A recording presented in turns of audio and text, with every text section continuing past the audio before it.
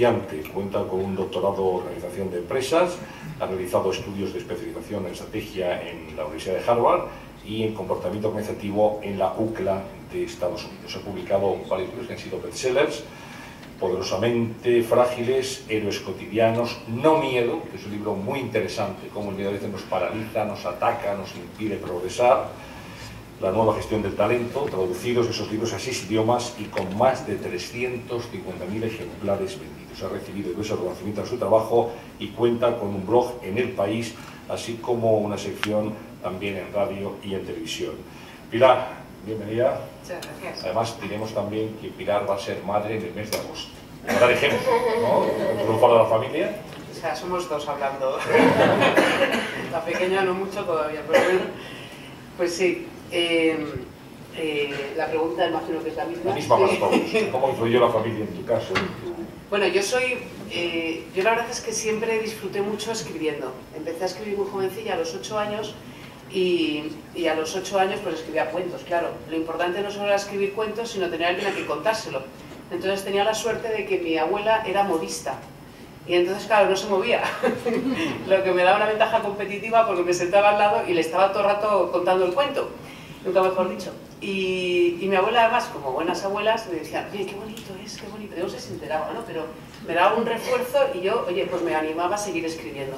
Después de machacar a mi abuela, iba a machacar a mi madre que mi madre estaba cocinando y tal, pues yo seguía contándole, y mi, y mi hermana. Entonces, eh, las mujeres en mi familia han aguantado estoicamente todos mis cuentos, y no solo los han aguantado, sino que además me han, me han reforzado. Y eso, eso yo creo que, jugó a favor, ¿no? a favor clarísimamente, cuando empecé con la narrativa y luego ya pasé al ensayo. Y mi padre, cuando estaba escuchando, digo, ¿y mi padre qué papel jugó? Porque mi padre, en mi casa no hay, en mi casa no hay escritores, no hay, tampoco hay empre emprendedores, yo soy empresaria. Eh, pero ¿qué papel jugó mi padre? Yo me acuerdo que en casa siempre había, había muchos libros. Y mi padre me dijo un día, eh, lee esto y además sentirás pasión por la lectura. Y esas frases que son, que quedan muy bien luego, repetirlas. y me marcó bastante, ¿no? Entonces, yo creo que mi familia en mi infancia jugó un, uh, un, factor muy interesante, sobre todo a la hora de dar conferencias. Cuando yo me enfrento a la conferencia, casi era como, como hablar a mi abuela cosiendo, ¿no? eh, y, y, luego, uh, ya cuando he crecido, eh, el apoyo de la pareja es absolutamente clave y crucial, ¿no? En una vida que yo he tenido y tengo muchísimos viajes por Latinoamérica, eh, pues la, familia es crucial, ¿no? Que te apoye y que sea realmente, en este caso, mi, mi, marido, que sea un compañero de vida, ¿no? Más allá de, de un compañero de vida que implica también el terreno profesional y también el personal, ¿no? Entonces, sí, sin duda la familia para mí ha jugado un papel importante eh, como escritora, como conferenciante y, y, yo creo que también como empresaria. Pues muchas gracias Pilar, también bienvenida. Y por último les presento a Rafa La Torre. Rafa La Torre es un joven periodista que actualmente es director de contenidos de un muy buen canal de televisión que se llama Non Stop People y que se emite en el día 23 de Movistar Plus. Digo que es un excelente canal, que les recomiendo que vean, no porque yo sea el director, sino porque es verdad. ¿eh? Bueno, eh, aparte Rafa es columnista eh, en El Español, es el medio, nuevo medio digital, y colaborador también de Onda Cero, en el programa Más de Uno de Carlos Alsina. Formó parte del equipo fundador de Punto Radio, donde fue redactor jefe de Sociedad y de Internacional, y también de sus primeros pasos profesionales en la cadena COPE. Eh, hay, no sé si mayoría, pero sí estamos rodeados de gallegos, en fin, si se han dado cuenta, ¿no? Ramón, Teresa, también Rafa La Torre es de Pontevedra, y eso, pues, en fin, yo creo que imprime carácter. Rafa, bienvenido también, buenas tardes. Y la misma pregunta para ti que para el resto de la mesa. Así que ahí, soy el tercer gallego en esta mesa que, como, como, saben ustedes, estamos firmemente determinados a colonizar finalmente la capital y lo vamos consiguiendo, o sea, no está mal.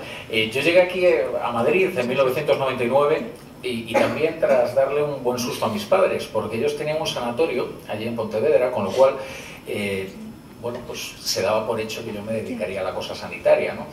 pero eh, llegado un momento cuando tienes que, que, elegir tu camino en la vida, letras o ciencias, ¿no? que es una de las primeras elecciones complicadas que uno, que uno asume, pues yo le dije a mi madre que, que quería estudiar filosofía. Con lo cual la mujer se quedó pálida, ¿no? Y pronunció esa frase tan de madre, ¿no? De allá tú, ¿no? Y dijo, allá tú, pero, luego me, aportó una solución bastante práctica. Me dijo, mira, yo creo que lo mejor es que estudies periodismo, que es casi igual, ¿no? El periodismo es una cosa así parecida y tal, solo que tienes como un 0,5% de posibilidades más de, encontrar trabajo, ¿no? Así que soy el periodista eh, menos vocacional del mundo, en fin, o eso asumo. Eh, vine aquí a Madrid a estudiar periodismo y, no me fue mal, eh, encontré trabajo, la verdad, bastante pronto pero también saben ustedes que lo caro del periodismo no, no, es estudiarlo, lo caro del periodismo es aprobar y ponerte a trabajar, porque eh, tienes que ir encadenando, en fin, trabajos eh, bastante, bastante precarios y complicados, ¿no? Sabéis cómo está la demanda de, de, periodistas en el mercado, y eso sin el sostén de la familia eh, hubiera resultado absolutamente imposible. La familia luego además te aporta otro, otro intangible, que es la tranquilidad eh, la tranquilidad de saber que puedes fracasar y sin embargo puedes volver a intentarlo de nuevo. ¿no? Eso en el caso de, un joven periodista es, es, muy importante porque eso exige un, salto de fe. ¿no? Y la verdad es que siempre encontré esa, esa tranquilidad en la familia, además del, de, en fin, el, el, respeto, iba a decir, bueno, el, aliento por, por, por desarrollar eh, mi, mi profesión. Eh, pude dedicarme a ello con, con, mucha intensidad, eh, los primeros años pues eh, con poco rédito y luego pues finalmente pues, pues ya hasta hemos conseguido vivir de ello, que no se crean ustedes que ahora mismo pues no es un logro. ¿no? Pues muchas gracias, Rafa. Yo os plantearía una primera intervención acerca de si la familia y la, red que ello supone, económica, de, de medios, etcétera, en este caso del emprendimiento juvenil, está sustituyendo eh, otro tipo de ayudas que podían venir de otras instituciones, bien sean públicas o privadas. No sé si en este caso, por ejemplo, Pilar, eh, la familia sustituye a donde no llega otro brazo que podía jugar un papel importante en el apoyo de los jóvenes en el emprendimiento. Bueno, yo creo que emprender emprender requiere de muchos temas, ¿no? Requiere primero el deseo de querer ser emprendedor o ser empresario en un futuro y requiere de una serie de habilidades que son absolutamente cruciales. Eh, habilidades como puede ser el desarrollo de la intuición, el esfuerzo, la tenacidad y hay una que yo creo que es crucial, que es así, que creo que no se sustituye por nadie y es en la propia educación asumir el error. Porque ningún emprendedor, eh, vamos, que yo conozca, eh, de hecho hasta en Silicon Valley, que es el famoso lugar de las startups, el, prácticamente el 80% de las startups, más del 80%, fracasan. Entonces, eh, yo creo que la familia, la educación que se dé en la familia en casa de que mm, aceptar el error o aceptar el fracaso es absolutamente crucial. porque creo que el lugar donde empezamos a... No sé, esto es mío. Eh, el lugar donde empezamos a madurar las, las habilidades que, nos, que luego llevamos de mayores es precisamente en el entorno familiar. Entonces ahí es donde se educan, eh, por ejemplo, entender lo que hablábamos antes, ¿no? el miedo. si realmente ante el error vas a generar miedo o lo vas a generar como aprendizaje. La familia que juega para mí un papel crucial creo que no se sustituye por aspectos posteriores. Creo que se, que se, que se nace y que se y que se gestiona desde el principio. Por ejemplo, eh, ante, un, ante un fracaso en el aprendizaje, ¿qué hay que hacer? Pues, por ejemplo, tomar distancia, relativizar, cambiar una pregunta importantísima, que a veces es la que a veces nos machaca muchas veces a, nosotros, ¿no? ¿Por qué me ha pasado a mí? ¿Por qué me ha pasado a mí? Sustituirlo al para qué, al para qué me ha pasado. Porque, y todas estas claves se aprenden desde la, desde, desde, desde la, desde la familia. Es tu padre lo que te dice, tu madre, tu pareja, cuando ya eres más mayor, pero yo creo que esto no se puede sustituir, al menos es mi opinión, por aspectos otros posteriores. Porque para emprender no solo hace falta ayudas, que, yo creo que hacen falta ayudas sin duda, sino lo que hacen falta son habilidades, deseos y lo que nos diferencia a, lo que diferencia a los emprendedores es que lo llevan en la sangre. Y eso se emana o se, se, educa desde, desde nuestra infancia. Sí, una primera intervención también, Teresa, sobre el emprendimiento y la familia, más allá del caso personal, ¿Cómo lo analizas? Bueno, a mí me gustaría pensar, o sea, me gustaría también pensar en familia como e, ese núcleo o entorno de personas que te acompañan en tu vida y en tu día a día, porque pienso que no todo el mundo tiene la gran suerte de, que yo, he tenido, por ejemplo, ¿no? de, de, criarme con mis padres, al lado de mis dos hermanos, ser una familia, puedo decir, feliz. O sea, hay gente que su entorno es otro y sin embargo triunfa profesionalmente. Eh, creo que, que, esa familia para esas personas eh, entiendo que es la gente que le acompaña en ese viaje o que de alguna manera le hace sentirse bien, le da la protección necesaria cuando eso, uno tiene sus altibajos. Entonces, entendido como familia, ese entorno, no puramente o únicamente tus padres, o sea, si son tus padres, evidentemente es muchísimo mejor, porque ya hay un entorno de cariño ya natural hecho y, entiendo que te aporta mucho, pero si hablamos de familia como ese foco, ese entorno tuyo que te protege, que te ayude, que te cuida, yo, a, los chicos yo pienso que de broma de alguna manera recomendaba un poco eh, que a sus hijos les animasen a ser guionistas. Yo les animo absolutamente a que sean guionistas, porque yo solo creo en las carreras de éxito cuando uno está haciendo lo que realmente quiere hacer. Entonces, eh, por más que uno diga, ay, no debes hacer esto, si debes hacer esto, porque uno corre peligro, otro no corre peligro. No, es que creo que allí donde hagas lo que hagas, tienes que hacerlo de una manera profesional e intentar ser el mejor. Y con ese intentar ser el mejor es, efectivamente, ser el mejor en cuanto a no generar expectativas que uno no pueda conseguir, o que si uno no las consigue, tenga los resortes y el mecanismo y el entorno adecuado para decirle vamos a volver a intentarlo. O sea, el camino no es fácil, el camino del éxito, el camino de, tener una sensación de éxito. Y, efectivamente el entorno que te acompaña, tu familia, es importante que entiendan que no a la primera va a salir bien y que, que, no te salga bien no es que mi niño no vale para esto o es que esto es que no, necesitamos efectivamente de un apoyo. Y, sobre todo de tomar esta distancia de la que hablaba Pilar y decir, a ver, yo ya he elegido mi carrera, yo ya he decidido hacer esto, yo no lo haría de ese modo, a no ser que, la persona se, esté equivocando, esté arruinando su vida por ese camino. Realmente un voto de confianza y un ayudarte a, venga, voy a ponerme en su lugar, intentar entender mmm, qué quiere y de qué manera yo le puedo ayudar. O simplemente yo digo, a veces mi ayuda es que no me destruyas. O sea, yo respeto que tú entiendas mi decisión o mi lo que sea desde otro lugar, pero por lo menos déjame hacerlo. O sea, eh, eh, eh, para mí ayuda también es la no destrucción o el, el, no limitar. Creo que en ese sentido hay que ser generoso y el apoyo a veces viene desde voy contigo, voy contigo, contigo o simplemente de te dejo ir. Eso también es apoyo, ¿no?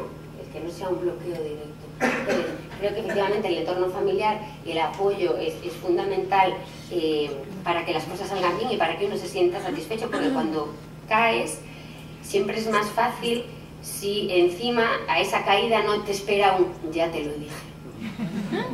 Porque tú en ese momento dices, eh, gracias, mamá, ha sido tan genial.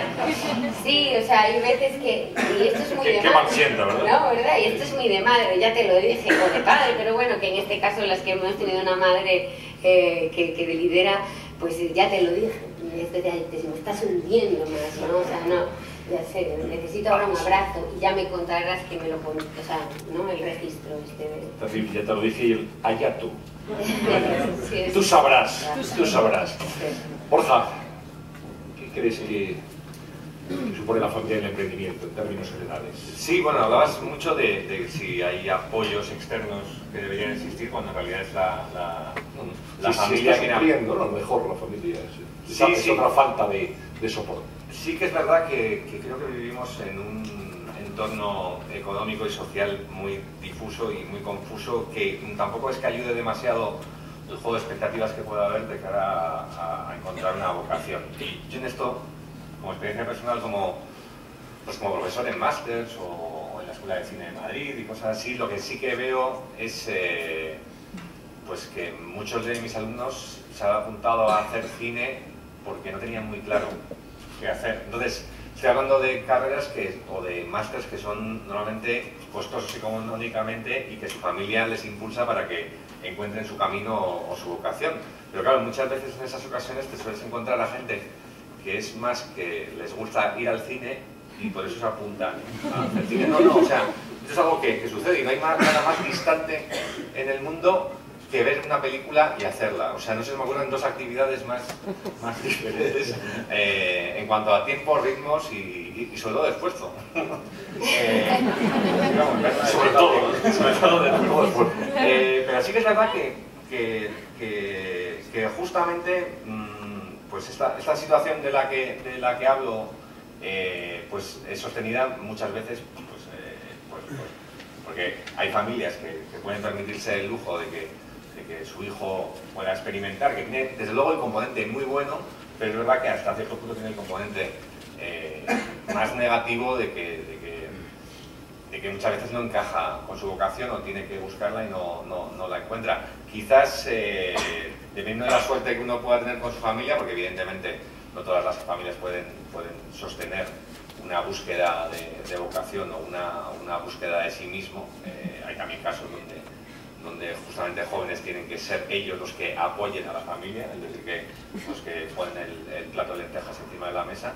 Pero sí que es verdad que, que- que- que si es una profesión donde el, el emprendimiento es más duro, sea en un entorno más creativo o no, eso no, no surge de la noche a la mañana y es verdad que debería estar apoyado, no solamente por, por el- el- el núcleo familiar, porque pasa, como decía Ramón antes, que si no te puedes estudiar carreras como de comunicación audiovisual, que imagino que, o si alguien la estudia o tiene un hijo que está estudiando y todo eso, pero bueno, es una, es como humanidades, pero, Pero de todas maneras, pero con tele. Pero bueno, quizás también en esos entornos, por, por poner el, el punto, es el, el entorno donde conoces a gente que tiene los mismos intereses que tú, es decir, que la productora con la que yo trabajo, el director de fotografía con el que suelo trabajar, la, la- la editora, la montadora, son gente que conocí en ese entorno, con lo cual quizás eh, en cuanto a forma y en cuanto a contenido lectivo no son mm, no es la mejor carrera del mundo, pero sí que, sí que es un nicho donde puedas encontrar tus futuros colaboradores y sobre todo los con los que compartes entusiasmo, porque el entusiasmo creo que es el principal gasolina de todo esto. ¿no? Ramón, ¿cómo lo ves tú? Pues eh, bien. Eh, Bien, gracias. Bien. Es gallego, que se lo sabe. Otra vez depende. A ver, eh, lógicamente para mí la familia es, es- es básica. eh, en el, como dije antes, para, para llegar hasta aquí yo, eso estuve con mis padres. Sí que en nuestra experiencia, la mía y la de Tere, hubo un momento en el que decidimos, cuando montamos Bambú Producciones, que lo, lo montábamos nosotros y nos la jugábamos nosotros dos. Eh, hicimos la, famosa visita a los bancos para, para intentar buscar financiación para la empresa y íbamos con dos paletas, un